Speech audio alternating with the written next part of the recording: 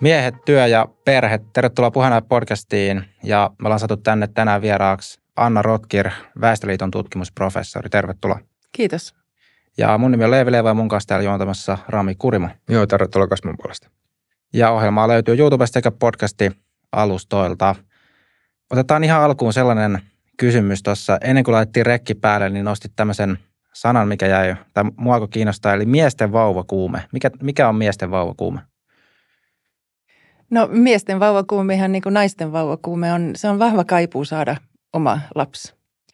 Ja yksi syy, että mä itse aikoinaan lähdin sitä tutkimaan, oli se, että yksi kirjailija Juhani Seppänen aloitti kirjan omasta isyydestään sillä, että mehän tiedämme kaikki, että miehillä ei ole vauvakuumetta, että näin usein väitellään, väit, sanotaan, mutta, mutta näin ei ole.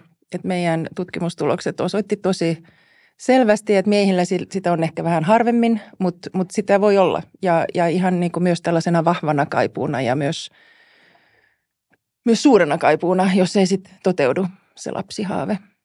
Millainen toi tutkimus oli siis, missä sitä tutkittiin?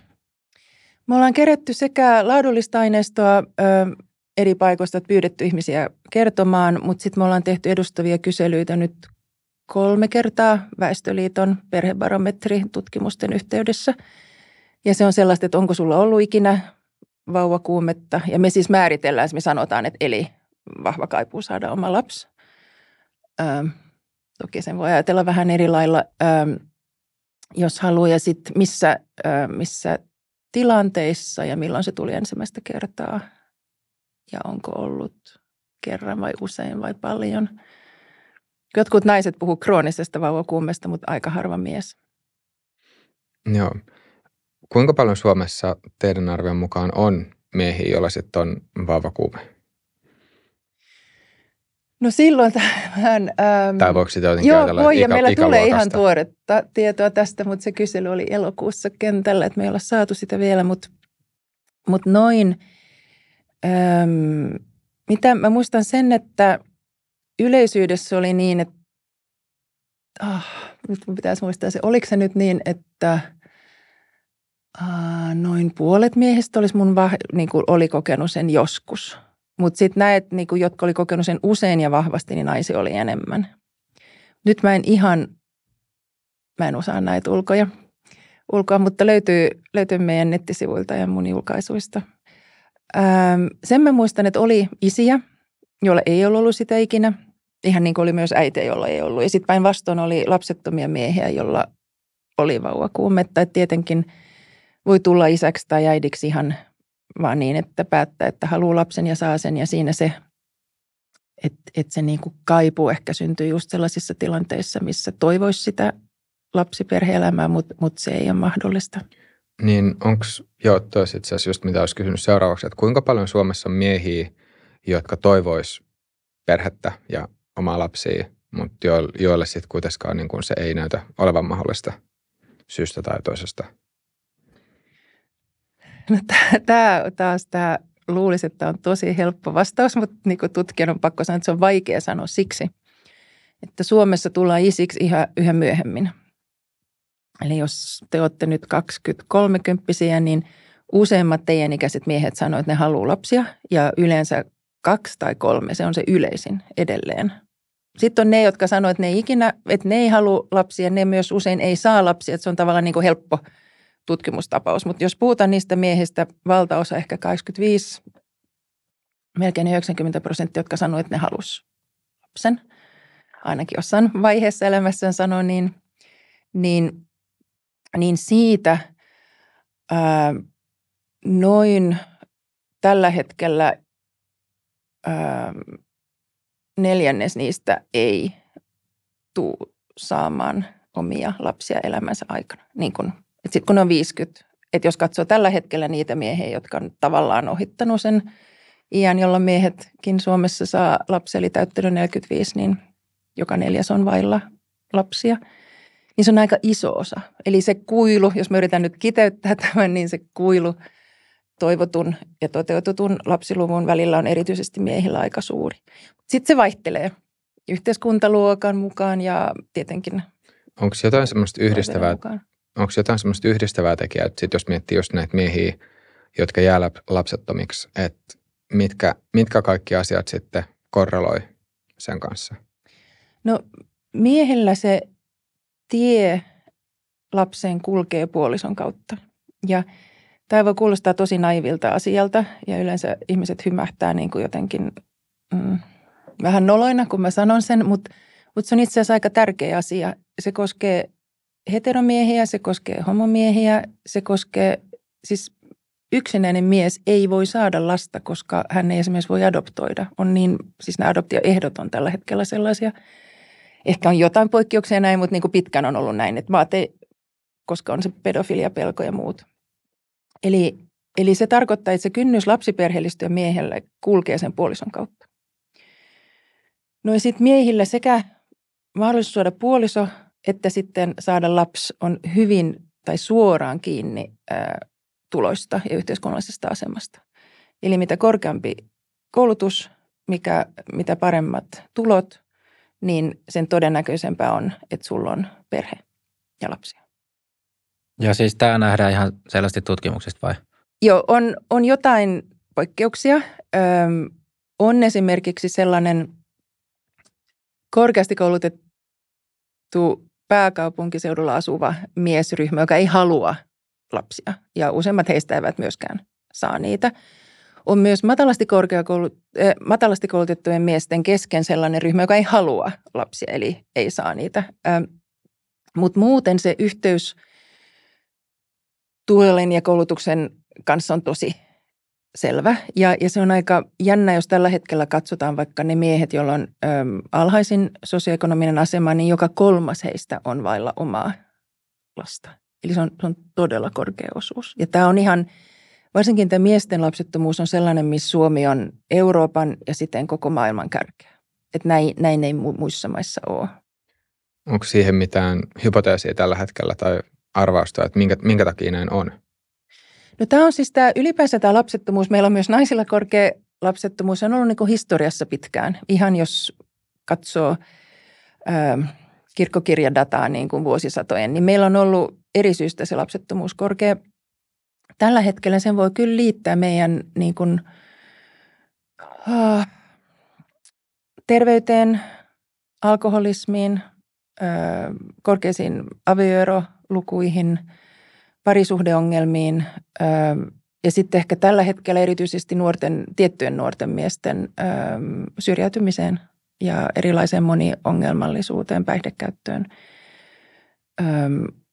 Tämä on se, siinähän on se kyky solmia niin kuin pitkäaikainen parisuhde, niin kuin mä sanoin, on se miesten tie lapsiperheellistymiseen ja, ja no, sodasta alkaen on ollut erilaisia psykologisia ja yhteiskunnallisia haasteita siihen.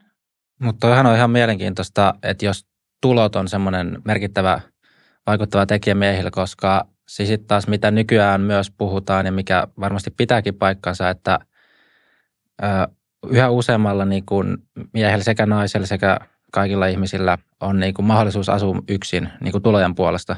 Että toisin sanoen taloudellisista syistä ei välttämättä tarvitse sitä kumppania niin paljon kuin ehkä joskus aikaisemmin historiassa on tarvinnut, mutta siitä huolimatta ne korkeat tulot on kuitenkin se väylä sen niin kuin kumppanin löytämiseen miehillä.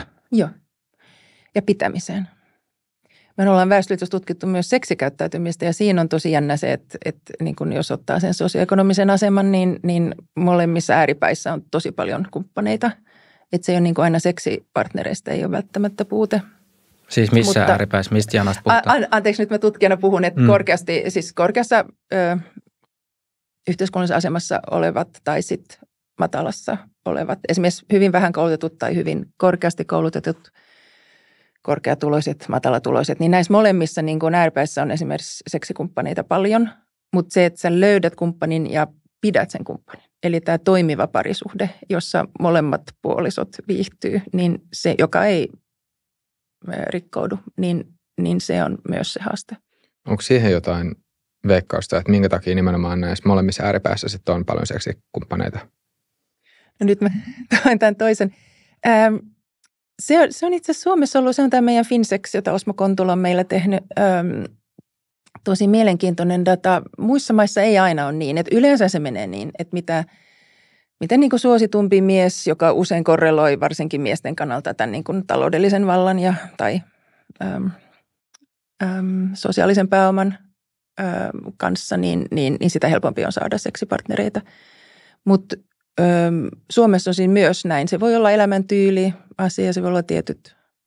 Sitten kun puhutaan näistä, pitää tietenkin aina muistaa, että meidän nämä edustavat kyselyt on tässä tosi raakoja ja niin kuin yleistäviä. Että kun itse miettii, ketkä pidetään niin kuin viehätysvoimaisina tai ketkä saa ne kumppanit, ketkä saa ne seksipartnerit, ketkä saa ne puolisot. Se on niin kuin sen ystäväpiirin kesken se, jolla menee hyvin, josta pidetään, johon luotetaan – ää, et nyt kun mä puhun koko ajan esimerkiksi koulutuksesta, niin eihän se, se voi olla joku ah, moottoripyörän jengi, jonka sisällä tämä niin kuin, mutta me kaikki tunnistetaan se, eikö niin, meidän ystävyyssuhteista. Että et tavallaan se on se asema siinä piirissä ja, ja, ja sun ystäväverkostot ja et, et sikäli ne, josta pidetään, josta sun oma sukupuoli pitää ja josta vastakkainen sukupuoli pitää. Voiko puhua statuksesta? Tai Status olisi tosi hyvä sana, jota mä tässä unohdin sanoa juuri näin. Ja, ja miehillä, ähm, äh, Mua on aina ärsyttänyt se tapa puhua alfauroksista, joka evoluutiopsykologia on tuonut, koska se tavallaan on väärin, että joo, joku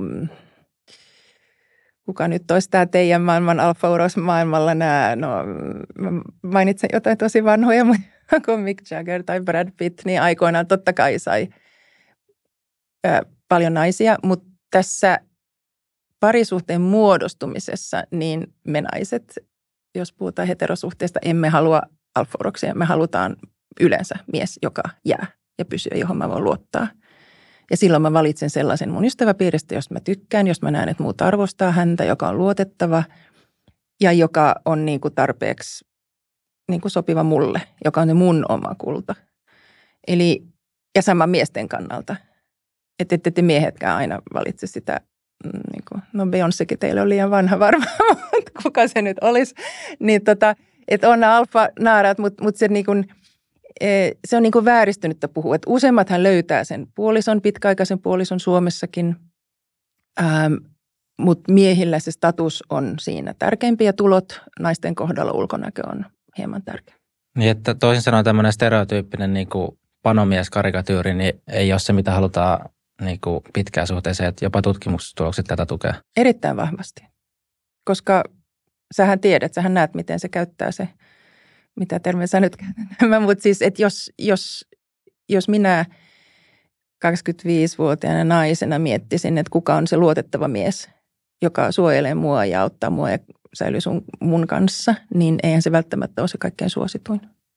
Mutta et sieltä, et sieltä niinku omasta sosiaalisesta piiristä semmoinen, joka on hyvässä asemassa, mutta ei semmoinen välttämättä niinku jotenkin Joo, just koko näin. kansan. Niin, ei koko kansan. Ja sittenhän se riippuu mun omasta arviosta mun asemasta. Että jos mä nyt on se 25-vuotias nainen, johon mulla on helpompi samaistua naisena kuin miehen, niin, niin, niin että mä siis, et, mähän jo, jo, jotenkin tiedostan sen mun oman. Se on tosi jännä, kun mulla on ää, lapsi vähän eri iässä, niin nämä teinit, miten ne koko ajan puhuu toisilleen tyttöjen kesken, että ei toi on liian, niin kuin, että ei toi ole tarpeeksi hyvän näköinen sulle ja että sä, sä ansaitset parempaa. Ja näinhän ne teinit puhuu. Se on hirveän jännä. Niin sehän on se status, se on ulkonäkö, se on joku arvio – niin kuin, siitähän se lähtee liikkeelle. Nyt on pakko kysyä, kun päästiin näihin kiinnostaviin aiheisiin. Siis yksi tämmöinen urbaanitarinahan on se, että halutaan aina löytää se kumppani niin kuin pikkasen ikään kuin ylöspäin pariutua, jos niin kuin mahdollista. Eli just sen sosiaalisen aseman mukaan, että, että jos niin kuin löytyy, niin vähän niin kuin, joka on vähän niin kuin ylempänä siinä sosiaalisessa jotenkin hierarkiassa. Pitääkö tämä paikkansa tai onko tästä tutkimustuloksia, että – että et sanotaan, sanotaan nyt, jos mä, mä olisin vaikka mun kaveripiirissä ja sitten on niin kuin jossain tuttua piirissä, mä pystyn, pyrkisin niin kuin, jos mahdollista, niin vähän vielä se niin kuin, jotenkin mua paremmassa niin kuin sosiaalisessa asemassa olevan löytää. No joo, mutta sitten sun pitää kuitenkin, niin kuin, sittenhän se riski on, että sä menetät sen. Että on taas se sun arvio sun omasta.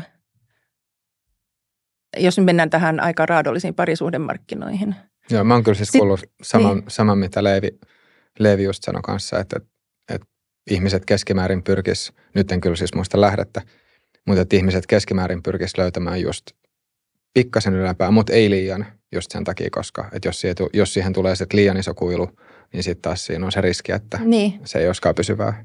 Öm,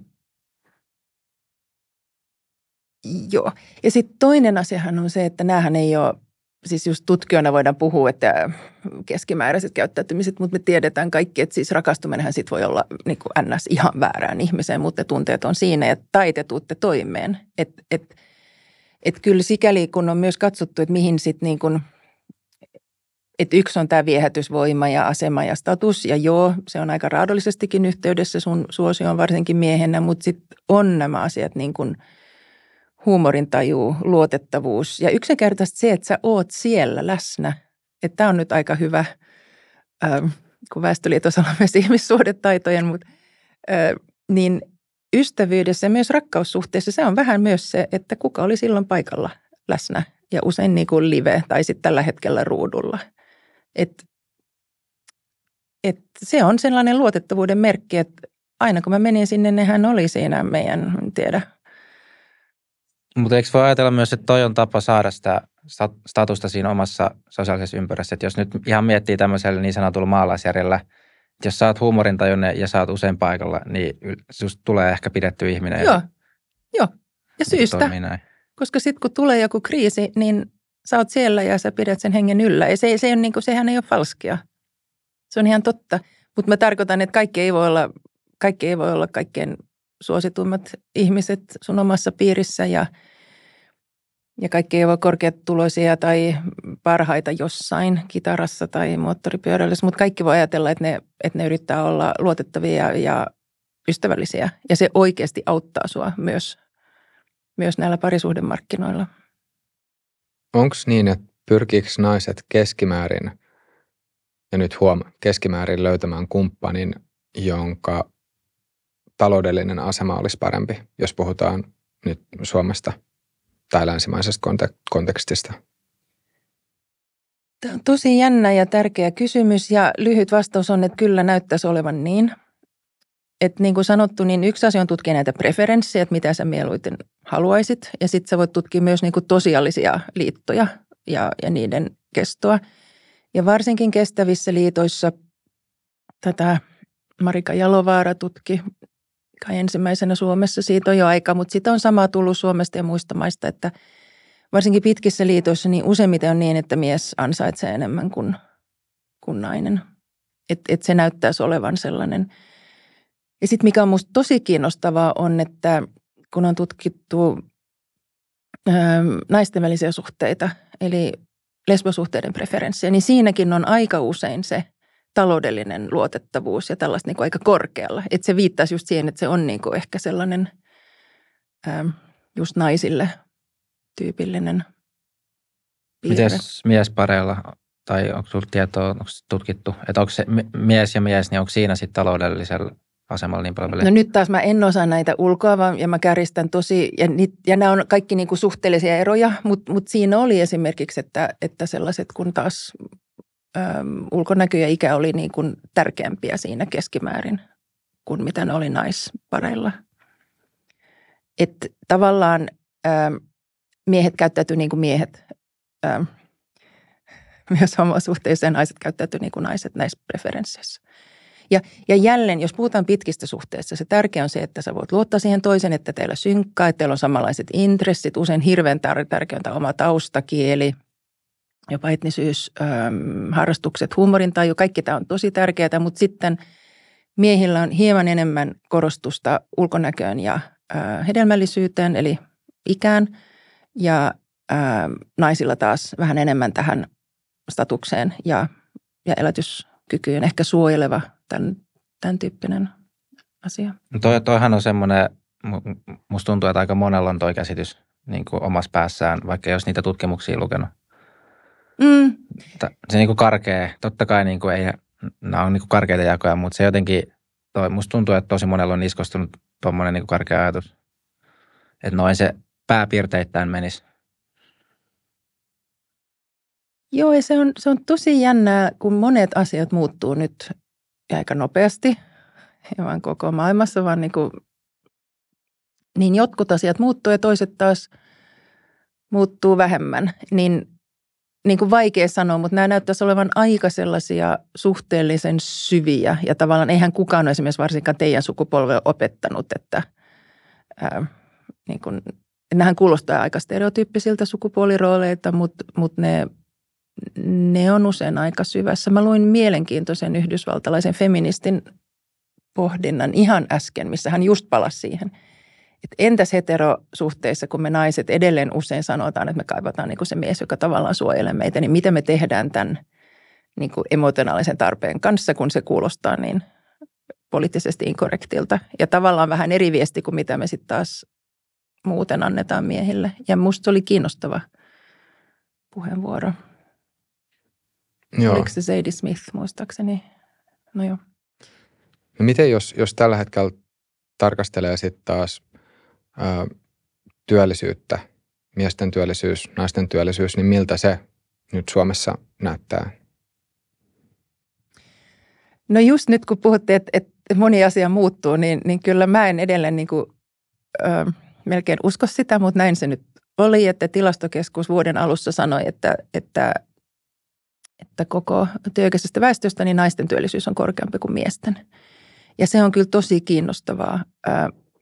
Se on sillä lailla vähän huolestuttavaa, että, että se voisi olla niin kuin työllisyysaste korkeampi varmaan molemmilla, jos nyt otetaan nämä VMn valtiovarainministerin kansantalous niin kuin lasit päähän, mutta mut on se silti hauska ja sit joten, tai hauskaa, niin kuin, se on huvittava siksi, että niin hirveän suuri osa – yhteiskunnallisesta keskustelusta on ollut tällainen, että voi ei nämä naiset, varsinkin kun ne, jotka on hoitovapaalla, että ne on nyt nämä, jotka romattaa sen Suomen työllisyysasteen ja, ja, ja paljon vähemmän on puhuttu siitä, että, että eri-ikäiset miehet on, on aika tavallaan alityöllistettyjä ja nyt se siis tuli näin räikeästi näkyviin.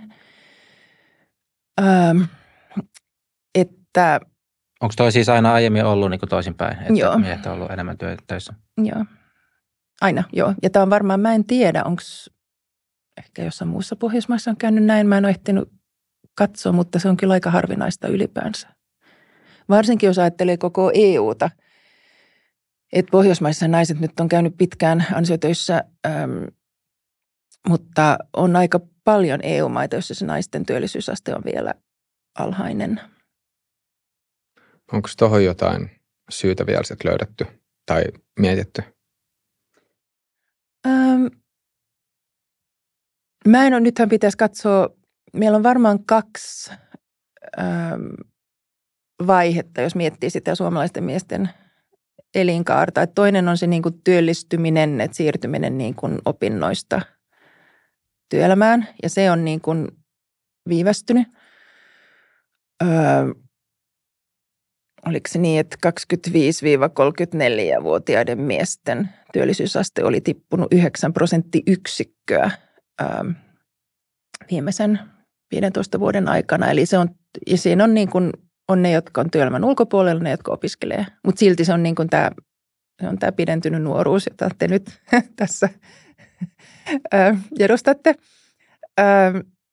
Ja, mutta sitten on toinen Toinen pää Suomessa on nämä, jotka siis jää pois työelämästä tai ei ikinä saa jalansia siinä. Eli päihdeongelmat, ö, työttömät, jotka ei löydä uutta työpaikkaa, pitkäaikaistyöttömyys, sairauseläkkeet. Nämä, nämä on niin kuin Suomessa sellainen, että meillä on ehkä enemmän vielä se niin kuin loppupää. Että jos Suomessa nyt miettii sitä koko miesten ja naisten työikää, niin – niin meillähän on paljon siinä loppupäässä verrattuna muihin Pohjoismaihin sitä, että jäädään hyvin aikaisin eläkkeelle. Ää, kun sen päinvastoin meidän tällä hetkellä pitäisi olla eläkkeelle ja tehdä työtä. Se on niin kuin se tavoite, mutta, mutta me ollaan tosi kaukana siitä.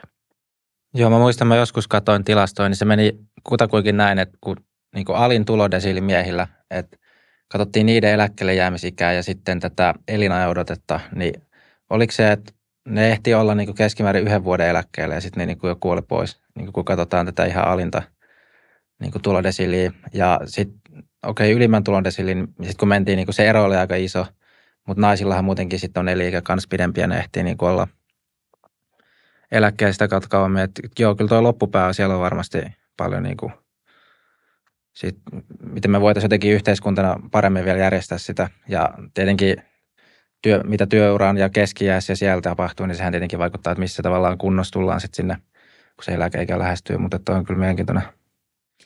Ja tässä on varmaan kaksi, koska niin kuin miesten kohdalla se menee tosi jännästi niin, me puhuttiin siitä puolison löytämisestä, perheellistymisestä, lapsiperheellistymisestä. Ja sitten on se toinen, se yhteiskunnallinen polku, se niin kuin oma osaaminen, sen kehittäminen ja sitten työllistyminen. Ja nehän voi kulkea niin kuin eri vaiheissa. Tekee jotain töitä, kouluttautuu, tekee toista näin. Mutta mut miesten kohdalla nämä todella tukee toinen toisiaan.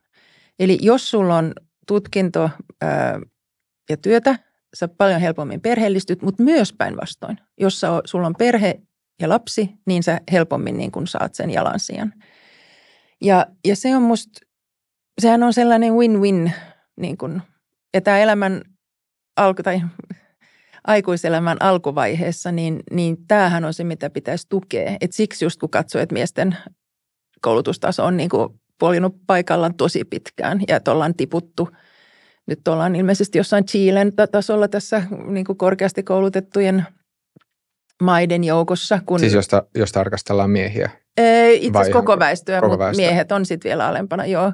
Niin itse asiassa kuinka iso, niin, ero, kuinka iso ero miesten joo. ja naisten korkeakoulutuksessa tai koulutuksessa tällä hetkellä Suomessa on? Joo, mun piti tarkistaa, mutta mä en etsinyt, kun tuli sen. Mä en tiedä, mitä se lukee tässä meidän. Äh, mutta noin niin kuin suuruusluokkaa, karkea. Oh Tämä on, tämä on tosi paha. Mä aidosti ajattelin, että mä tulen. Ähm, olisiko se nyt mm, 10-15 prosenttiyksikköä? Voisin laittaa lasit päin ja katsoa se siihen, mutta ehkä se ei palvele tätä.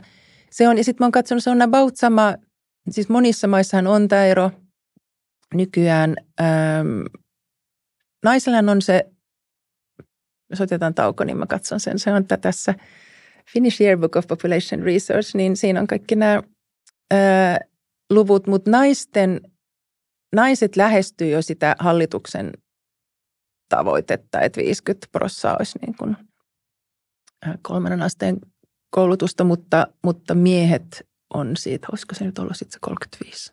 Sitten se riippuu koulutusasteesta.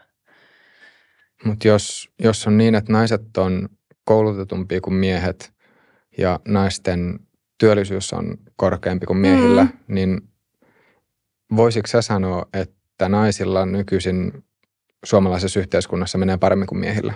Vai onko tämä liian yksinkertainen kärjistys? Musta nuo kärjistykset on sikäli aina huonoja ja mä tosi mielelläni en menisi siihen siksi, että, että on tätä hajontaa sukupuolten sisällä. Että jollain, nais, jollain miehillä menee ihan tosi hyvin kaikilla mittareilla. Ehkä voisi sanoa, että se hajonta on suurempi miesten kohdalla. Että et nämä, joilla menee todella, todella hyvin, ö, on hyvin usein miehiä. Sitten jos katsotaan varallisuutta ja korkeita yhteiskunnallisia paikkoja, niin kuin nämä, niin nehän on hyvin miesvaltaisia. Että patriarkaattia on jäljellä, mutta sitten nämä, jotka on vankiloissa tai kuolee hyvin ennenaikaisesti ja itsemurhat, hyvin miesvaltaisia, niin mä sanoisin niin. Mutta eikö toi, ainakin se käsitys, mikä itsellä on, että toi on kyllä aika universaali ilmiö silleen, että niin on ollut myös aika pitkään, että jos, jos katsotaan vain, että minkälaisia ö, yksilöitä ihmislaji lainausmerkeissä tuottaa, niin, niin miehillä on suurempi hajonta ö, esimerkiksi persoonallisuuspiirteissä, ö, olisikohan tyyliin niin kuin älykkyydessäkin, mm. että naiset, et naiset ja miehet on keskimäärin yhtä älykkäitä, mutta sitten taas miehillä nämä hännät korostuu. Mm, mm. Jo, eli, jo. eli sen niin kuin siltä perusteelta tai niin kuin sen pohjalta on ihan loogista tai ymmärrettävää, että minkä takia sitten miehet päätyy sekä huipulle että pohjalle, jos, jos se variaatio sen yksittäisen sukupuolen sisällä on Joo. suurempi. Joo, eli näin on varmaan lähes kaikissa yhteiskunnissa, mutta mut kyllä tämä syrjityminen sekä perheelämästä että työelämästä, joka, jota me nähdään nyt. että kun mä sanoin, että kolmasosa ö, alhaisemmissa yhteiskunnallisessa asemassa olevilla miehillä ei ole omaa lasta, niin se on uutta. Että se niin kuin lapsettomuus ja perhettömyys, jos miettii niin kuin ihmiskunnan historiassa, niin silti ö, useimmilla ö, miehillä on ollut jonkinlainen perhe. Ja sehän tietenkin oli sellaiset, että jos ei ollut oma perhe, niin oli sitten joku siis, sisarusten kautta tai jäi vanhempiensa luo tietenkin Suomessa hyvin eri. Mutta tämä, että sä jäät niinku ihan yksin, ö, asut yksin, ei ole läheisiä ihmisiä, ei ole, ei ole läheissuhteen. Se on, se on kyllä uusi ja se niin kuin ei, ei tee kellekään hyvää. Mutta jos mä palaisin tähän sun, että kellä nyt menee paremmin niin kuin miehille vai naisille, niin kyllä mä sanoisin, että naiset, niin kuin tällä, suomalaiset naiset niin kuin näillä indikaattoreilta, mitä valtiovalta haluaa, että me tehdään lapsia, käydään töissä, kouluttaudutaan ja eikä tehdä rikoksia ja näin, niin kyllähän naiset nyt niin kuin skooraa korkeammin, mutta Mä vierastan aika paljon feministinäkin sitä, että jos puhutaan jostain asiasta, esimerkiksi tällä hetkellä on tosi paljon sitä, että jos sä sanot, että nuoret miehet syrjäytyy, niin tulee heti, että no mutta kyllä naisillakin on mielenterveysongelmia ja nuorilla tytöillä ne on tosi. Ja sitten mä oon ihan, että juu, että, nämä ei, että tämä ei ole niinku kilpailu, että kumpi kärsii enemmän. Niin kuin aidosti ei ole, että se on toisesta pois. Öm, sitten mä mietin vielä sitä, kun me puhutaan tämä kiinni oleva niin kuin, ä, työelämässä, että, että taas jos, kun miettii sitä loppu teidänkin, että teidän pitäisi ihanteellisesti tämä valtiovarainministeriön mielestä nyt ä, elää hyvin tosi pitkään ja säilyä työelämässä pitkään. Jos te, saatte, jos te haluatte ja saatte perheen, niin tosi tärkeä juttuhan on siinä, että se perhe ja työ olisi vähän huokoisempaa myös miehille – että tällä hetkellä ne miehet, jotka perheellistyy, niillä on usein tosi rankat ne, ne niin kuin lapsiperhevuodet.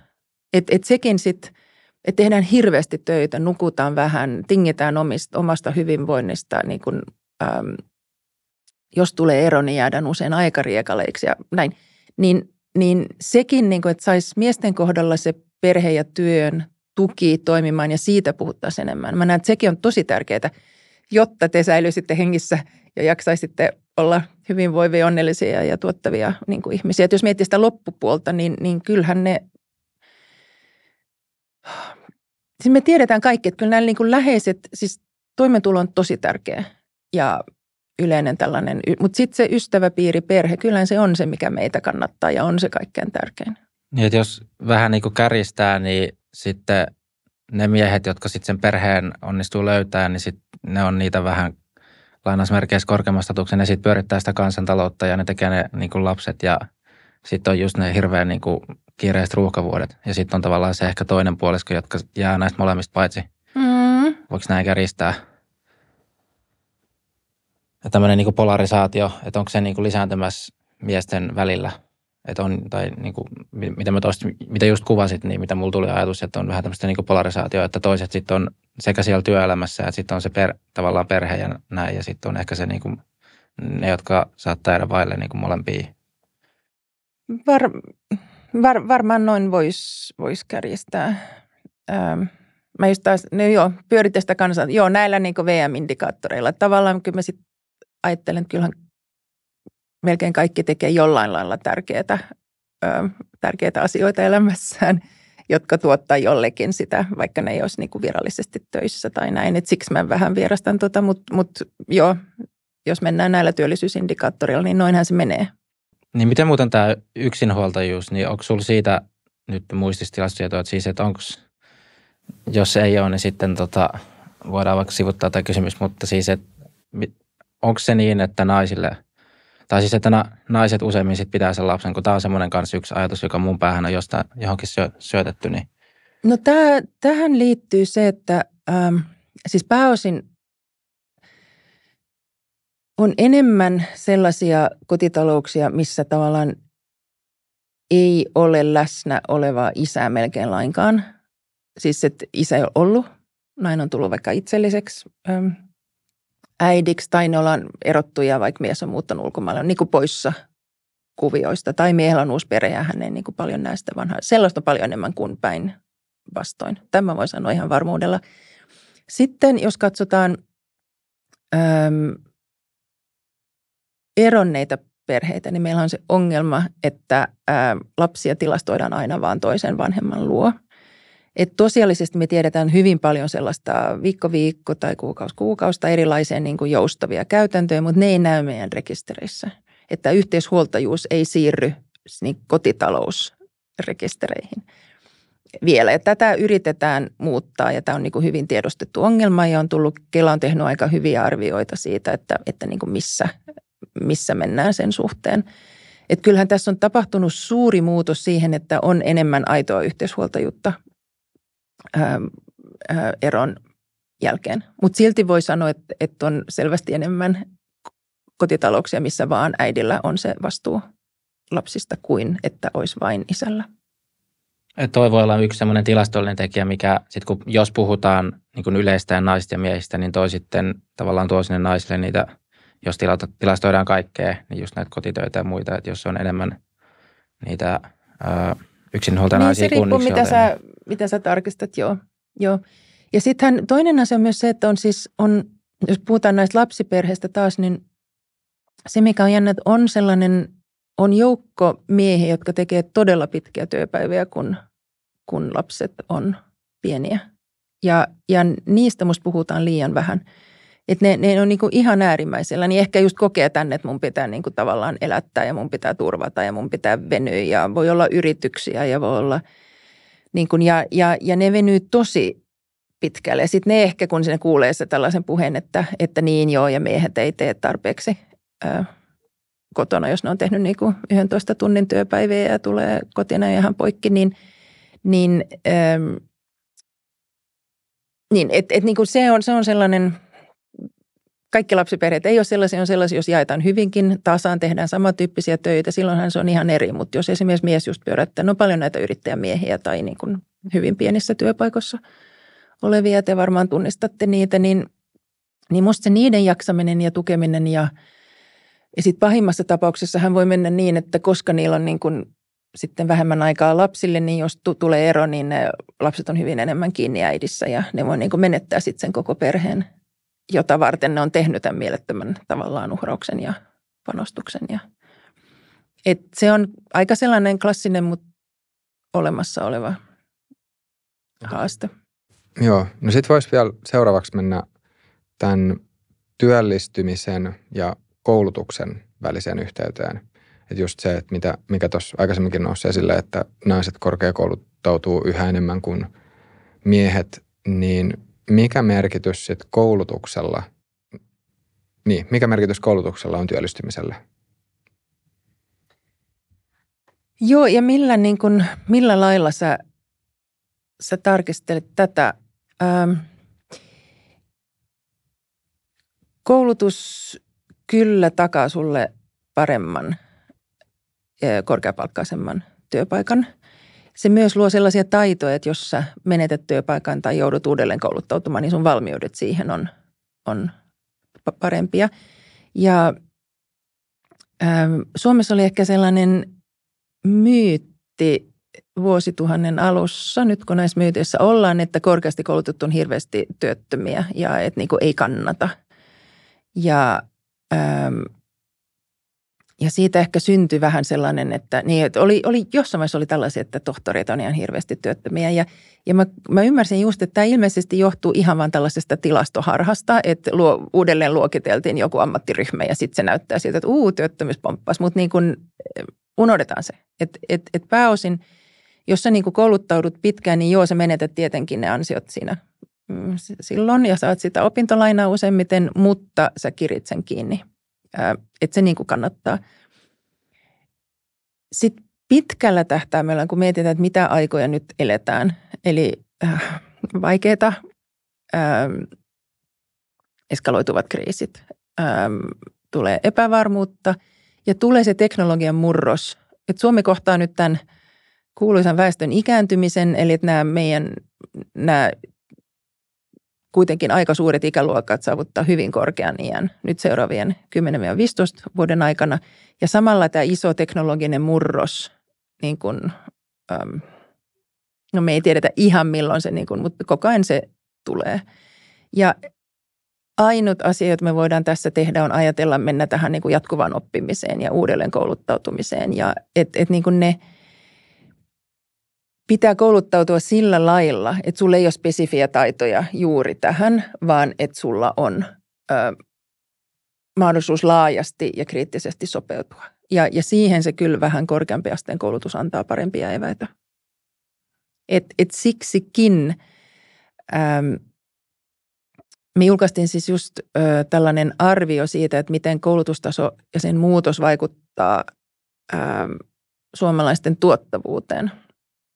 Ja siinä on se tosi jännä juttu, että kun VM, joka on huolestunut väestön ikääntymisestä ja, ja paljon puhuu tästä kestävyysvajeesta ja tekee eri niin projektioita, niin niillä ei ole sellaisia välineitä, jossa ne voisi edes yrittää hahmottaa sitä, että miten tämä, jos koulutustaso nousisi, niin miten se vaikuttaisi tuottavuuteen, jos oletetaan, että koulutuksen yhteys tuottavuuteen on yhtä hyvä kuin nyt. Ja me tehtiin sellainen harjoitus IASan tutkijoiden kanssa, ähm, niin kuin mikrosimulaatiomalli, jossa kyllä osoittautui, että jos sä katsot sitä ikääntymistä tällä jut, niin sä näet, miten paljon, se, miten paljon kannattaa panostaa koulutukseen.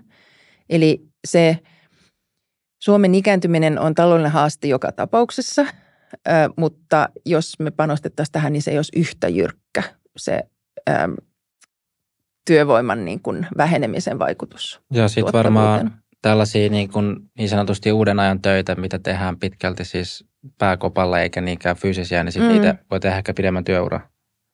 No just näin. Ja tämä on myös tämä on just se, että, että tavallaan kun varmaan pitäisi ajatella, että tekee erilaisia töitä äm, pitkin, mutta pitkään.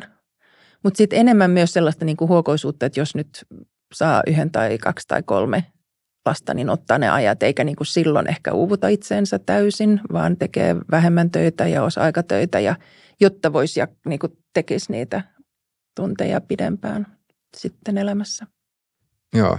No sitten voisi vois oikeastaan seuraavaksi pohtia vielä sitä, että mikä on tämän koulutuksen merkitys nyt sitten taas parisuhdemarkkinoilla. Että jos on niin, että naiset kouluttautuu miehiä enemmän ja kanssa se, mitä kanssa tuossa noin nostit esiin aikaisemmin, että, että naisille näyttäisi olevan keskimäärin kuitenkin tärkeää se miesten tulotaso. Ja sitten taas koulutuksella ja tulotasolla on, on jonkinnäköinen korrelaatio, tai ainakin koulutuksella ja työllisyydellä. Mm. Niin mihin, mihin yhteiskunta on menossa sitten, että jos, jos tässä koulutuksessa tulee tai kouluttautumisessa tulee iso gappi miesten ja naisten välillä? Mm. Joo, siis tässä on sellainen win-win, että jos panostettaisiin yleisesti koulutustason ja erityisesti miesten, ja jos miestet kiris niin naisia kiinni tässä, ää, niin sehän todennäköisesti palvelisi myös lastensaantia. Et jos mä aikaisemmin sanoin, että, että tämä nuorten aikuisten miesten työllisyysaste on niin kuin romahtanut, niin niiden lastensaantihan on myös laskenut vahvasti yli neljänneksellä niin kuin kymmenen vuoden aikana ja, ja nytkin eletään sellaisia aikoja, että toipuuko syntyvyys enää ikinä. niin, Mutta mut tämä ainakin voisi olla sellainen, ää, sellainen niin kuin laajempi, ää, tavallaan että saa sen otteen elämästä kokonaisuudessaan. Ja nyt mä muistan sen, että kaikki eivät halua lapsia, se on fine, mutta jos miettii tätä enemmistö, joka haluaa lapsia, niin äm, Minusta Elinkeinoelämän keskusliitto teki tosi hyvän sellaisen työpaperin, joka on mulla tässä myös printattuna, missä ne niin kuin, just korostaa sitä, että se perheellistyminen ja koulutus, varsinkin miesten kohdalla, kulkee niin vahvasti käsi kädessä. Ja itse asiassa voisi sanoa, että kyllä se naisten kohdalla myös on tällä hetkellä niin, että ne naiset, jotka kaikkein parhaiten pystyy toteuttamaan lapsilukutoiveensa, on korkeasti koulutettuja. Eli Eli niin kuin myös niillä näyttäisi olevan niin, että korkeasti koulutetut saa lapsia vähän myöhemmin, koska ne kouluttautuu. Ää, eli se näkyy, mutta, mutta sitten kun ne tavallaan ryhtyy asiaan, niin ne on, niillä on monenlaisia resursseja. Toimiva, niin kuin, tukeva, tukeva ihana puoliso, huumoritaina niin poispäin ja, ja, ja verkostot ja hyvä palkka ja niin kuin näin ja, ja vanhemmuuden taitoja ja näin. Niin sitten se, ja luottamus, niin, niin, niin siinäkin nähdään se mutta niin kuin hyvä. Kun välillä kuulee puoli. sitä, että meillä on jossain pienillä pitäjillä näitä niin kuin kouluttamattomia miehiä paljon ja sitten kaupungeissa näitä koulutettuja naisia niin kuin suhteessa enemmän kuin miehiä, mutta sitten kuitenkin nämä koulutetut naiset, niin niillä sitten loppupeleissä näyttäisi olevan valinnanvaraa, että he saa toteutettua sen oman toiveensa aika hyvin. Ai, joo, no tämä on taas se, että, että mi, mistä puhut. Siis meillä on kyllä epäsuhta, josta on puhuttu ja niin kuin tiedossa, eli, eli äm, kaupungeissa varsinkin korkeasti, tai niin, joo, kaupungeissa on, on enemmän korkeasti koulutettuja naisia, joilla on vaikeaa löytää sopiva puoliso itselleen. Ja sitten maaseudulla tai syrjäseudulla tilanne on päin vastainen, että et sehän on Suomessa pitkään tiedossa ollut sellainen epäkohta. Öm, Onko muuten tuohon tohon liittyen siis yksi hypoteesi, mistä on lukenut, mikä liittyy just siihen, että, että minkä takia korkeasti koulutettuja naisten on vaikea, vaikea löytää kumppani, on just se, että, että kun niitä korkeakoulutettuja miehiä, tai voisiko sanoa nyt lainausmerkeissä saman statuksen miehiä on yhä vähemmän ja vähemmän, niin silloin, silloin tota, Joo. se puuli miehiä, Joo. jotka tälle, näille naisille nyt sitten kelpaa Joo. tai jotka nämä naiset katsoo sopivaksi, on, on sitten pienempi, jolloin siitä ei riitä kaikille. Ja se tekee tämän, tämän parin valinnan sitten myös haastavammaksi? Joo. Onko tässä mitään perää? No, mm, tavallaan tuossa ei, koska se mitä me nähdään nyt länsimaissa on se, että kun naiset on melkein kaikissa maissa nyt korkeasti koulutetumpia kuin miehiä, niin ne tavallaan sopeutuu siihen, että me nähdään myös enemmän liittoja, jossa miehillä on alhaisempi koulutustaso kuin naisilla. Tulojen kohdalla näin ei ole aina, että silloin silti, niin kuin mä sanon, tämä että ehkä sillä on vähemmän koulutusta, mutta se tienaa enemmän. Että se, ja sitten se nyt vaihtelee, että miten kauan ne ää, kestää ja noin. Sitten se toinen on ihan se sukupuolijakauma. Että et se voi olla, että jos mä oon korkeasti koulutettu nainen jossa yliopistokaupungissa, mulla on vaikea löytää se sopiva mies ää, niin kuin myös siksi, että niitä miehen ylipäänsä mun ikäluokas on vähemmän. Että se on myös se niin kuin tavallaan ekologinen asia, eikä vaan se, että ei ole. Että niin kuin, no joo, mun ryhmän miehiä on vähemmän, mutta joka taas vie meidät takaisin siihen, että kuka on siinä läsnä ja kehen sä edes voit ää, törmätä. Olisi muuten jännä nähdä, miten nämä kaikki deittiäpit muuttaa tämän, tämän, missä sä voit valehdella sun koulutustatuksesta muun muassa ja näin, niin kuin, että, että, että, että miten ne muuttaa tätä. Deittiäpeistä tuli mieleen siis, mun mielestä siitä on parikin juttua, tai siis sillä, että nämä, nämä deittiäpit on itse – julkaissut sitä omaa dataansa. Ja siinä on karkeasti tämmöinen 80-20 jako ollut, että, että niin kuin 20 prosenttia miehistä kohtaa 80 prosenttia naisista näissä deittiäpeissä. Et sillä tavalla, että jos, jos niissä deittiäpeissä kuuluu, kuuluu 20 prosenttiin niin kuin miesten parhaimmistoa, niin sitten ne deittiäpit on ihan, ihan niin kuin mukavia. Mutta jos taas sitten ei ole siellä, niin sitten sitten se voi olla hyvinkin yhtä tyhjän Ei, kanssa. Eikö niissä ole siis yleisesti enemmän mun mielestä miehet käyttää noita appeja? Tai siis että niin, niin kuin yleisesti sekin. siellä on enemmän mm. miehiä. Sekin. Ja sitten oli toinen semmoinen jännä, että, että, että jos kysyttiin naisilta, että pitääkö, ähm, tai että, että millä tavalla ne arvioi yksittäisiä miehiä, että onko nämä miehet nyt keskivertoa parempia vai keskivertoa huonompia, niin äh, ne miehet, jotka arvioitiin keskivertoa huonommiksi, niin – niitä oli siis kuitenkin enemmistö. Että se ei mennyt sillä mm. niin 50-50. No varmaan jotain jenkkitutkimuksia, eikö niin? Um, voi Te, Tuskin Suomessa ainakaan tehty. Joo, veikkaisin, että oli jenkkitutkimuksia tai, tai ulkolaista dataa. Toki se voisi taitella, tai se on mielenkiintoinen, mielenkiintoinen kysymys, että onko sitten suomala, että tulisiko suomalaisesta ää, tai suomalaisella aineistolla erilaisia tuloksia kuin mitä, mitä Ja sitten sehän voi olla, että sen takia ne, ar- jos naiset arvioi suuri osa on keskiverto alapuolella, että ne parhaat on jo varattu. Tai että se niinku, Sekin. Tai se olisi myös ihan mm, loogista, mm. että niinku niistä, jotka on jo varattu, niin suuri osa on siellä keskiarvo yläpuolella niin sanotusti. Ja tämä vie meidät taas siihen, mistä me oltiin alussa, että sit jos se 20 prosenttia miehiä on näin, jolla on mieletön valinnanvara, niin onko ne sitten halukkaita sitoutumaan – siihen yhteen kivaan vai onko niitä koko ajan tämä, että siinä on ne kymmenen muuta naista tosta, jotka oli myös kivoja. Että, niin kuin, että tämähän on se, mitä kun oltiin tästä korkeasti koulutettujen naisten ongelmassa, että onko niitä miehiä, onko ne sun lähipiirissä. Öö, joka nyt silti usein on se tapaamisjuttu, vaikka tämä sosiaalinen media on mukana, mutta myös se, että onko ne sit sitoutumishalukkaita silloin, kun sinä olet. Ja, ja, ja tässä, tämä on ehkä se aika iso asia, mitä on paljon viitteitä siihen, että nimenomaan tämä deittiappikulttuuri on muuttanut tätä, mutta emme tiedä vielä tarpeeksi Suomesta. Mutta siis näyttää siltä, että, että tavallaan tämä niin kuin kierto parisuhteessa nuoruudessa, ainakin avoliitoissa myös deitteissä on niin kuin vähän korkeampi, joka tavalla avaa sitä mahdollisuuksien ovea, mutta sitten edelleen viivästyttää muun muassa lastensaantia, joka nyt on se sitoutumisen huippu tietenkin. Joo, tuossa on y- yksi artikkeli tulee mieleen. Olisikohan tämä nyt ollut sitten Sydney Morning Herald vai mikäköhän se lehti. Tämä on siis useamman vuoden takaa, mutta siinä just, sit, just kuvattiin tätä ilmiötä ja siinä, siinä oli haastateltu, haastateltu sitten korkeakoulutettuina ja siitä ainakin yhtä, sitten, ää, yhtä miestä.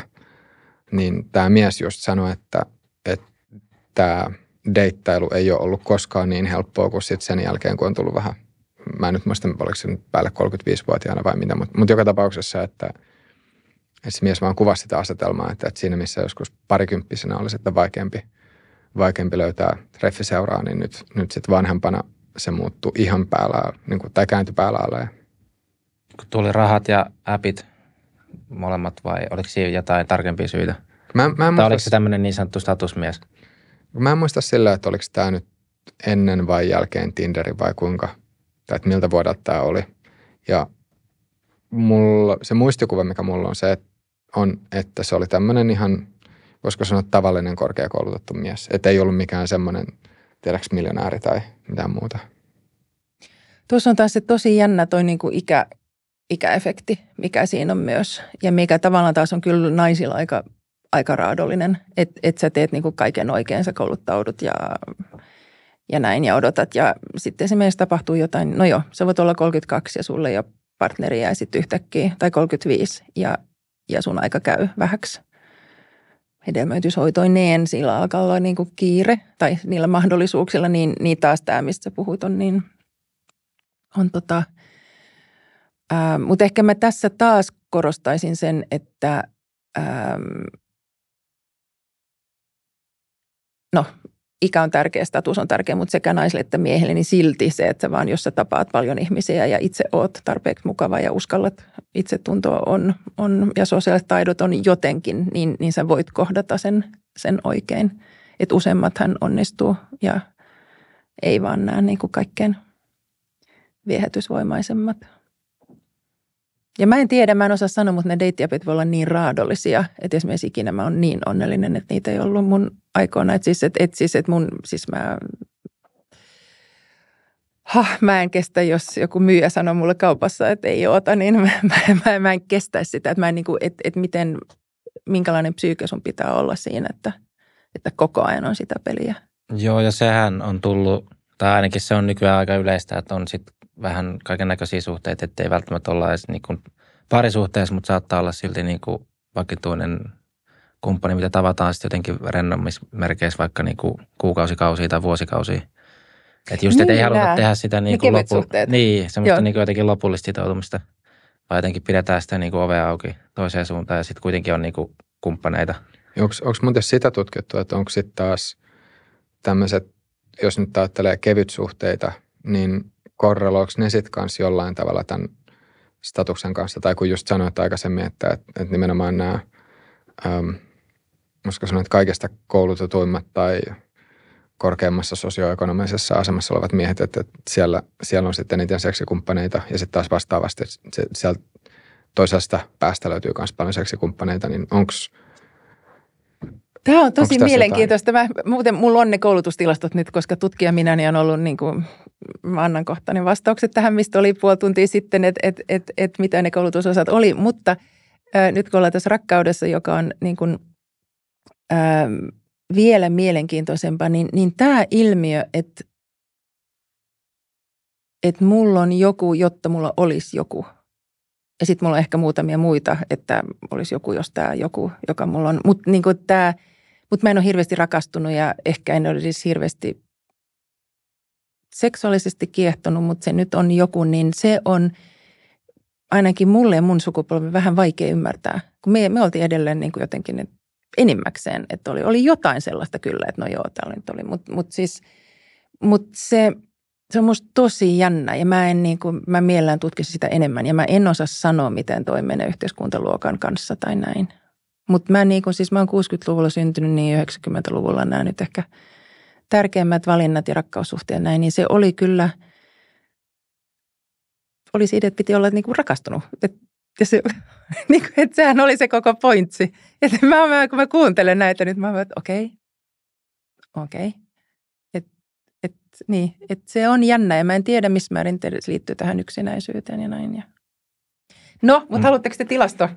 Halutaan. Koska, koska mulla oli, eli äh, 74, no sitten on erilaisia tilastoja. Mm, on tämä European Labour Force Survey, jossa on vertailukelpoista dataa, jota me hyödynnettiin tässä meidän mikrosimulaatiossa. Sitten on tilastokeskuksen omat niin kuin rekisteröintiin perustuvat, jos taas on ulkomaalaiset ei ole tarpeeksi. Että nämäkin vaihtelee aika hämmästyttävän paljon.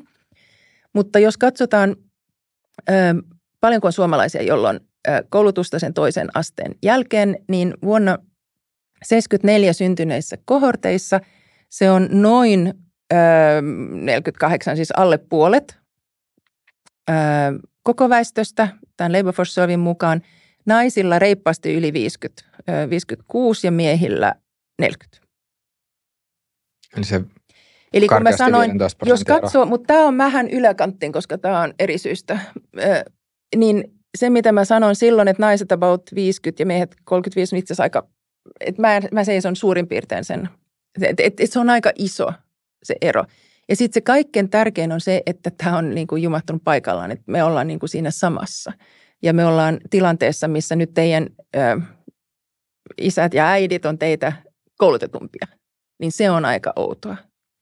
Ja, ja kaksikymppisiä niin kuin, ja kaksikymppiset on vähän niin kuin te. Että tavallaan se aidosti on, on jopa vähän laskenut se koulutustaso Suomessa. Miten sitten aikaisemmin on ollut, että onko koska jos nyt miettii, ketkä nyt on tämän patriarkaatin huipulla, niin kun he, silloin kun he, he on niin kuin ollut kouluttautumisiässä, niin eikö silloin ollut sit miehiä enemmän korkeakouluissa? Siis jos me nyt vaikka sinne 80-90-lukuun, 2000-luvun alku. Joo. Eli toisin sanoen... Niin patriarkaatin huipulla siis, niin kuin, että ne nyt no, on vallassa. Yhteis- joo. Niin, täällä joo. Niin pörssiyhtiöiden johdossa ja joo. politiikan huipulla ja muuta. Ja sitten tulee tuosta mieleen yksi toinen, toinen juttu, että nyt ö, on nyt mä en nyt muista ulkoa, että missä kaikissa kaupungeissa, mutta ainakin mun muistaakseni Briteissä ja Jenkeissä on kaupunkeja, joissa nuoret naiset tienaa keskimäärin enemmän kuin nuoret miehet. Että on myös semmoisia niin kuin, mm. niin kuin alueellisesti Joo. nähdään, että, että on, on tiettyjä ryhmiä, tai siis silleen, niin kuin, että jos katsotaan nyt nämä kaupunkilaiskontekstissa, niin, niin tota, että naisilla on kovempi tulotaso, niin se on ihan mielenkiintoista pohtia siellä, että okei, että mihin – mihin suuntaan yhteiskunnallinen kehitys sitten lähtee tästä eteenpäin. Että just jos, jos sanotaan, että, että, tota, no, että tällä hetkellä huipulla on, että nähdään, nähdään niin, että, että sitten kun ihmiset vanhenee tai tota, ikäryhmät vanhenee, niin sitten kuitenkin miehet päätyy huipulle. Mutta voidaanko me sanoa välttämättä niin, koska me ei kuitenkaan niin kuin, me voidaan nähdä silleen, niin kuin, että mi, miten se on joskus historiallisesti aikaisemmin ollut, mm. mutta me ei pystytä silleen – automaattisesti sanomaan, että miten tämän sukupolven kohdalla nyt varmasti käy. Ei niin, ja sitten mikä on mikä huippu, että politiikassa kyllä se on jännä siis, että Italia nyt ilmeisesti saa ensimmäisen naispääministerin, niin, niin kyllä se silti on niin kuin aika jännä sen tyyppisessä maassa. Öm, politiikassa naiset on tullut tosi vahvasti. Kaikissa ammateissa naiset on tullut tosi vahvasti niin kuin lääkärit, juristit, Sitten on nämä, niin kuin, siis varallisuushan on edelleen ja suurten pörssiyhtiöiden johtajat ja Metan johtaja ja Facebook, niin kuin näin, niin ne taipuu olemaan enemmän miehen niin kuin silti. Että et, et on kyllä nämä niin kuin aika, tämä niin kuin promille, joka, joka todella omistaa maailman varat, niin, niin, niin siksi, mutta jo politiikassa hirveän jännä. Ja just tämä, mihin, niin kuin, mitkä paikkoja koulutus avaa, niin – suuri murros. Vaikea ennustaa, joo. Joo, meillä nyt niin kuin, ketä nukku pois, siis Elisabetit ja nämä, että onhan niitä ajat periaatteessa, Englantikin oli maailman mahtavin maa, niin sehän on Elisabettien johtama ollut. Ja niin kuin, että on niitä aina sitten on löytynyt myös niitä naisia kyllä sinne huipullekin asti. Joo, mutta demokraattisesti valittuja vähemmän. Joo, vähän, Mut toki on. vähemmän. Mm, nehän syntyi siis ku, ku, kuningattarilla on, on ollut aina. Mutta mut tämä niin kun, musta tämä on, on sikäli myös kiinnostavaa, että liittyen tähän, jos puhutaan niin stereotypisesti, että mitä taitoja tarvitaan missäkin, niin vaikka politiikassa se niin kun, tällainen tunneäly ja tällainen on entistä tärkeämpi. Ja, ja miltä sä näytät. Ja myös jos miettii tätä meidän nykyisen pääministerin niin kuin järjetöntä suosiota ympäri maailmaa, että oikeasti siis kun tapahtui tämä viime biletyskohu, joka nyt Suomessa tulkittiin tietyllä lailla, niin tuli oikeasti, siis mä sain niin kuin latinalaiset Amerikalta ystäviltä, että teillä on niin ihana pääministeri. Ja kyllähän se ulkonäky, ulkonäky ja sukupuoli on siinä, sanoisin, aika tärkeät. Että se on yhtäkkiä niin kuin valtti. Niin mua vähän käy sääliksi niin kuin miehen, jolla ei ole välttämättä sellaisia tunnetaitoja ja ehkä nyt ja edes niin kuin virallista osaamista, mutta myös tätä epävirallista, mitä niin kuin näyttää hyvältä. Niin itse asiassa tosi jännä tulee mieleen, Leivisen varmaan arvoatkio, että mihin, mihin mä viittaan, mutta siis se just, mikä oli tässä ää, meidän välisessä tai meidän kahden keskisessä jaksossa, minkä nostit esille, että, että sitten kun Rinne vaihtui Mariniin, niin hallitusohjelma säilyi ihan samana, mutta suosio nousi. Mistä, mistä mihin se nousi? Mm. Niin, hallituksen suosio, Joo, joo. hallituksen Se suosio. oli jotain alle 40 prosenttia ja sitten kun Rinne vaihtoi Mariniin, niin se oli joku 70 prosenttia ollut sen jälkeen. Joo. Niin kuin tämä nykyisen hallituksen. Mikä, mikään, mikään muu ei muuttunut kuin vaan Toi se, on että kuka juttu. sinne Joo. tulee. Ja mäkin ajattelen, että jos se olisi ollut, no, Antti Rinne, joka olisi tanssinut, niin olisiko se saanut sellaisen maailmanlaajuisen suojan? Su- su- se, on, se on jännä. Ja mä nyt en, siis naiset on ollut ali, siis musta on tosi tärkeää, että meillä on nuoria ja naisia ja poliitikkoja. Mutta jos miettii, että mikä tällä hetkellä myy, niin, niin ihan kiinnostavalla lailla ää, nämä niin kuin politiikan pääomat ovat aika ko- kovassa muutoksessa. Ja saattaa olla kysyntää tällaisilla niin kuin lainausmerkeissä naistapaisille. Se oli se mun sukupolven feministien hieno ö, sana, niin naistapaisille taidoille.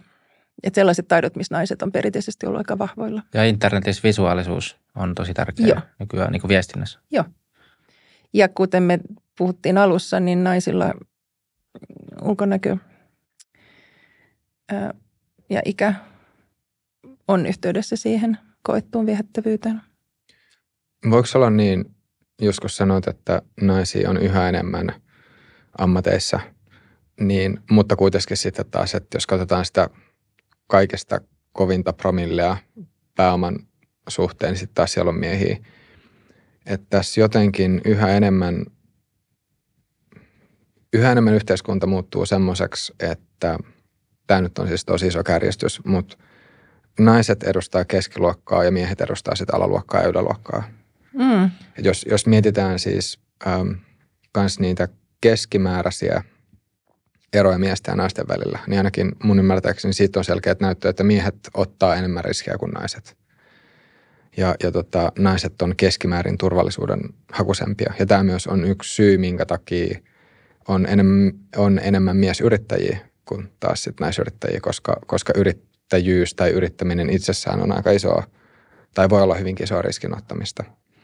Ja, ja toinen juttu on myös sitten, että ähm, jos katsotaan, katsotaan niin näitä muita, tai just se, että, että mies, miehillä sen sukupuolen sisällä erot on isompia kuin mitä naisen, naisten, naisten kesken. Että, että miehet, miehet edustaa muutenkin enemmän, tai niin kuin, että miesten joukosta tulee tämmöisiä ääripersoonallisuuksia tai ääri-ihmisiä lainausmerkeissä enemmän, enemmän kuin mitä naisten, naisten joukosta. Ja sitten taas jos nostit esimerkiksi Metan tai Zuckerbergin tuossa esille, niin voi ajatella, että tämmöiset teknologia, näiden kaikista maailman isoimpien teknologiayritysten perustajat ja johtajat, niin tietyllä tavallahan voi ajatella, että ne on ääri-ihmisiä. Että se ei siis kuka tahansa ei pysty siihen. Että se vaatii ihan poikkeuksellista persoonallisuutta ja poikkeuksellista ko- kognitioa, että jotain semmoista pystyy tekemään. Niin, niin tota, ja sitten jos katsotaan vaan, että, että on niin kuin tilastollisesti, niin on todennäköisempää, että semmoinen ääripersoonallisuus on mieskunnan. Ja totta kai siis onhan myös naisia, mm. jotka on päässyt, päässyt tota bisnesmaailmasta tosi korkealle ja tehnyt niin kuin älyttömän, älyttömän tota menestyksekkäitä tai ovat luoneet menestyksekkäitä yrityksiä, mutta vaan keskimäärin niin kun sitten taas siellä on enemmän miehiä. Niin miten sä näet, että voiko tämä olla joku semmoinen kehityssuunta, mihin sitten yhteiskunta menee? Tai miltä, miltä tämä kuulostaa, minkälaisia ajatuksia tästä herää? Niin sä tarkoitat sitä, että 30 vuoden päästä niin, niin kuin suurimpien yritysten johtajat ja varsinkin uusien, niin onko siinä niin muuttunut se sukupuoli ehkä muu niin kuin radikaalisti ja, ja, ja se toi on kiinnostava. Kyllä mä sanoisin, että toistaiseksi mitä me nähdään on se, että nämä rakenteelliset esteet on kyllä ollut tosi merkittäviä. Että kun tuetaan naisia vaikkapa nyt tässä startup-maailmassa tai teknomaailmassa, niin niitä tulee nopeasti. Et, et vielä kymmenen vuotta sitten oli ihan vakavastikin sanottiin, että esimerkiksi naiset ei ole niin kuin orkesterin johtajina juuri mitään. Ja nyt se on todistettu vääräksi, että me ei niin kuin – kun ne rakenteelliset esteet poistetaan ja vielä niin kuin kannustetaan ja aidosti avataan ää, eri sukupuolille, nyt puhutaan ihan kaikista sukupuolista kaikista niin kuin, ja eri ryhmistä, taustaryhmistä, että näähän on myös valkoisia miehiä, jotka on tässä vallassa kiinni enimmäkseen. No, Kiina unohdetaan, mutta Euroopassa. niin, tota, ja ää, Lähi-Itä kanssa. Niin sekin jo, ne, jo, miten ne nyt määritellään. Joo, no mutta, mutta tässä länsimaailmassa niin ää, niin nähdään, on vaikea sanoa, että missä menee se ero.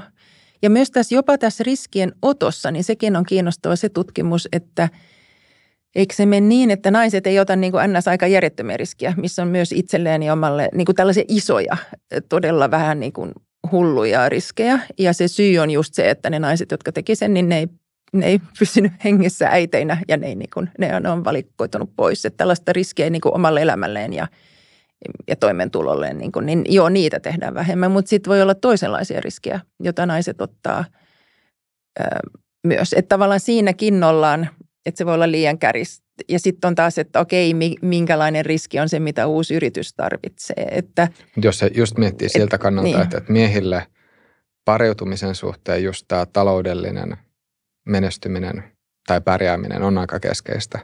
Ja sitten taas, jos, jos on yrittäjä, niin silloin se voi olla semmoinen vähän kaikki tai ei mikään tyyppinen tilanne. Eli voi ajatella, että siinä niin kuin miehillä se, miehillä taloudellisen riskin ottaminen on, mä en nyt tiedä voiko sanoa, että, että se olisi niin kuin merkittävämpää kuin naisille, mutta että jos, jos on niin, että pariutumisen kannalta, pariutumisen kannalta nimenomaan tämä tota, se, että kuinka, kuinka varakas se on tai, tai mikä se taloudellinen status on, on miehille, miehille tärkeämpää kuin naisille, niin silloin taas se, että, että mies ottaa riskiä sillä saralla, niin voi, voisi niin ajatella, että se on, se on miehelle lainausmerkeissä isompi riski. Mutta tämä vie niin nyt mielenkiintoisiin asioihin, kun sitten on se, että just varsinkin jos puhutaan näistä ääri, monella lailla äärimiehistä, niin nehän on myös monet ollut todella ilmeisesti hankalia ihmisiä – ja että niin kuin, onko se edes sellainen, että se, että me niin paljon katsotaan ja tavallaan palvotaan ja ihalla niitä, niin onko se edes niin kuin tervettä, kun miettii, että mihin se koko tämä nykyinen maailmanjärjestys on meitä vienyt. Että et miten me halutaan määritellä se status, joka on tavoittelemisen arvoista. Sehän on niin kuin yhteiskunnassa todella vaihtuu ja muuttuu. Ja meillä voi olla yhteiskunta, missä vaikkapa tasapainoista perheelämää elävä mies on se kaikkein statuskorkein, eikä sellainen hullu, joka tekee 20 tuntia työtä ja, ja on inhottava laisilleen ja vaatii järjettömyyksiä. Ja niin kuin, et, et, et kyllä mä siinä ajattelisin, että me ollaan tällaisen tämän eskaloituvan kriisien aikana tällaisessa uudelleen ja vihreän siirtymän aikana. Sellaisessa niin uudelleen määrittelyssä, missä on aidosti se, että esimerkiksi mikä on palkkatyön merkitys sun elämässä – ja sitten aina sanotaan, Suomessakin koko ajan on, että, että työ on se niin kuin olemassaolon niin kuin juttu. Et koko ajan on tietysti sanoa, että, lastensaantiin ei saa patistaa, mutta se, että kaikkien pitää olla työssä nonstop, niin sehän on niin kuin se mantra. Niin, niin onko se niin? Halutaanko me niin? Ja, ja onko se meidän yhteiskunnallinen status kiinni siitä, että kuka tekee eniten työtä? Vai onko se kiinni jossain muussa? Niin, niin, niin siinä, kyllä mä että nämä, ja, ja se me tiedetään, että siis yhteiskunnan status voi olla eri yhteisöissä se, joskushan se makein mies on ollut se, joka teki niitä kauniimpia mattoja. Niin kuin, et, et, et se vaihtelee ihan, tällä hetkellä ne on ehkä nämä jotkut tietyn alaan. Tai niin kuin, et, et se todella vaihtelee. Sehän on meistä kiinni, että Tai jos mikä se status on. ideologinen työstä kieltäytyjä, niin se voi sun omassa viiteryhmässä ollakin sun statusta nostava asia. Joo, juuri näin. Mä oon tuntenut yhden mun koko elämän aikana.